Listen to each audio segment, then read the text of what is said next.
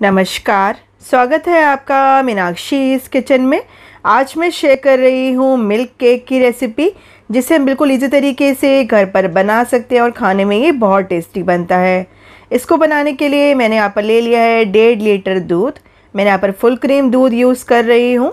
आप चाहे तो इसे टोंड या फिर गाय के दूध से भी बना सकते हैं।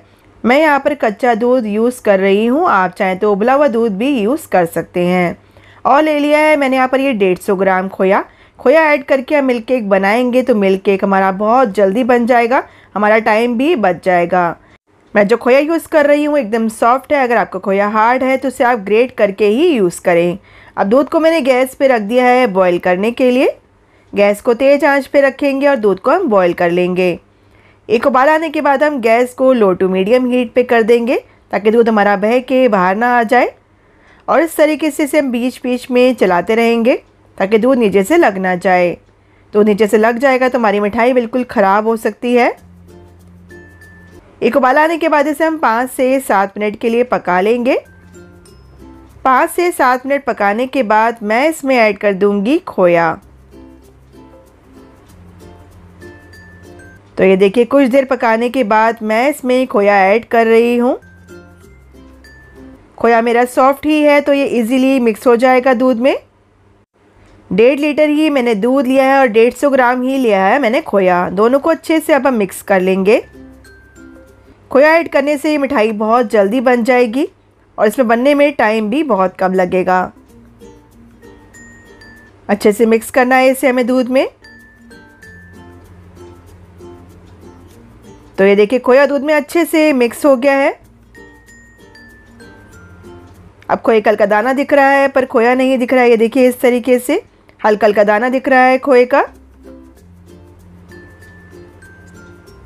कुछ देर पकाने के बाद अब मैंने यहाँ पर ले लिया है नींबू का सत। मैंने यहाँ पर लिया है वन एट्थ टी स्पून नींबू का सत, यानी साइट्रिक एसिड। ये देखिए दिखने में इस तरीके से होता है। करीबन दो पिंच है ये नींबू का सत। दो पिंच से भी हल्का सा कम ही लिया है मैंने। अब इस दूध में मैं डालूँगी ये साइट्रिक एसिड। तो सारा इकट्ठे नहीं डालेंगे इसमें हम। इसको हम चार बार करके इसमें ऐड कर देंगे। तो पहले मैं थोड़ा सा ही इसमें डाल रही हूँ और इसको मैं मिक्स कर लूँगी। सारा इकट्ठे इसमें आप डाल देंगे, दूध हमारा एकदम फट भी सकता है। तो धीरे धीरे इसको आप ऐड करते जाएँ और दूध में मिक्स करते जाएँ इसको। इस तरीके से चार पाँच दाने में एक बार में डालती जाऊँगी और इसको मैं मिक्स करती जाऊँगी। इसकी जगह पर आप चाहे तो सात आठ बूंदे नींबू के रस की भी डाल सकते हैं इसमें। नींबू का रस भी इस तरीके से आप बैचेस में ही डालें। मिक्स करते जाएँगे इसको। साइट्रिक एसिड ऐड करने से इसमें हल्का दाना बन जाएगा। तो ये देखिए, सारा साइट्रिक एसिड मैंने इसमें डाल दिया है। और जो इस साइड में मलाई आ रही है, इसको हम स्क्रेप करके दूध में ही मिक्स करते जाएँगे। अब दूध को हमें हाफ़ होने तक रिड्यूस करना है, जब तक ये आधा ना हो जाए। तो ये देखिए, दूध रिड्यूस होकर हमारा एकदम हाफ़ हो गया है। अब मैं इसमें ऐड करूँगी चीनी। तो मैं इसमें करीबन 200 से 250 ग्राम चीनी ऐड कर दूँगी। इसको भी हम बैचेस में ही ऐड करेंगे। तो चार बार करके मैं इस चीनी को ऐड करूँगी और इसे मैं मिक्स करती जाऊँगी। सारी चीनी एक बार में आप ऐड कर देंगे तो इसका टेम्परेचर एकदम गिर सकता है। तो इसलिए चीनी को हम धीरे धीरे इसमें ऐड करते जाएँगे और इसे हम मिक्स करते जाएँगे। तो मैंने यहाँ पर करीबन एक कप चीनी ली है। आप अपने टेस्ट के अकॉर्डिंग कम या ज़्यादा भी कर सकते हैं। अब लास्ट में बची हुई सारी चीनी मैं इसमें ऐड कर दूँगी और इसको मैं मिक्स कर लूँगी। इस मिक्सचर को हमें एकदम रिड्यूस करना है, एकदम गाढ़ा होने तक इसे हमें पकाना है। ये देखिए, इस तरीके से इसे हम चलाते रहेंगे बीच बीच में। बिल्कुल भी अगना नहीं चाहिए नहीं चाहिए दूध हमारा। कुछ देर और पकाने के बाद लास्ट में मैं इसमें ऐड कर रही हूँ घी। तो मैंने यहाँ पर ले लिया है चार बड़े चम्मच घी। करीबन वन फोर्थ कप घी लिया है मैंने यहाँ पर। अगर इसे आप वेट में मेजर करें तो करीबन 80 से सौ ग्राम के करीब ये घी है। इसे भी हम दो बार करके इसमें ऐड कर देंगे। पहले मैंने आधा डाल दिया है मैं इसे मिक्स कर लूँगी। अच्छे से मिक्स करने के बाद बाकी बचा हुआ घी भी मैं इसमें ऐड कर दूँगी। मैंने यहाँ पर चार चम्मच घी ऐड कर रही हूँ, आप चाहे तो तीन चम्मच भी इसमें ऐड कर सकते हैं। मिक्स कर लेंगे इसको। तो ये देखिए मिठाई अब हमारी बनने ही वाली है, अब आपको बिल्कुल ध्यान से इसे पकाना है। चलाते रहना है इसको। तो ये देखिए मिक्सचर हमारा एकदम गाढ़ा हो गया है थिक हो गया है। अब इसे हम सेट करेंगे तो ये इजीली सेट हो जाएगा। तो मैं गैस को बंद कर दूँगी। अब इसे हम सेट करने के लिए निकाल लेंगे किसी टिन में या फिर किसी डब्बे में। जब ये एकदम गरम गरम हो, तभी इसे हमें सेट करने के लिए किसी बर्तन में निकालना है। तो मैंने यहाँ पर ले लिया है, इस तरीके से ये टिन मैंने इसे घी से ग्रीस कर लिया है।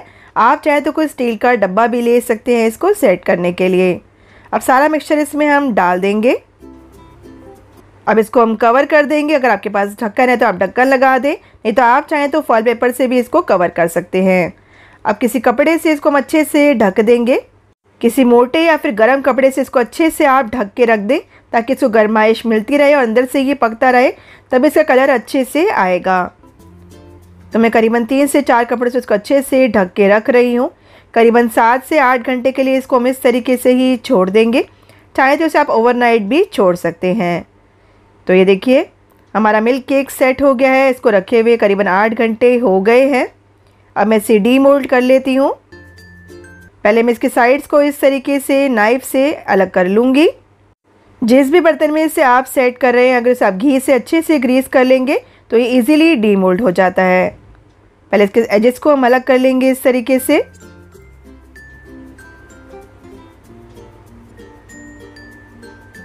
अब मैं इसे इस तरीके से प्लेट में उल्टा करके टैप करके निकाल लूँगी। तो ये देखिए, हमारा मिल्क केक बहुत इजीली डीमोल्ड हो गया।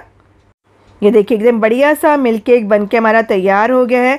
बहुत इजीली इसको हमने घर पर ही तैयार किया है और खाने में ये बहुत बढ़िया बना है। अब मैं इसे कट कर लेती हूँ। ये देखिए, एकदम सॉफ्ट सा मिल्क केक बन के हमारा तैयार हुआ है।